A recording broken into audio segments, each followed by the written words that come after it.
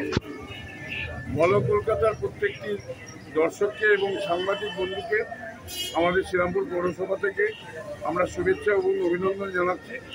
নির্ভীক সংবাদ পরিবেশন করার জন্য তৃতীয় বছর থেকে চতুর্থ বছর আপনারা পদার্পণ করেছেন।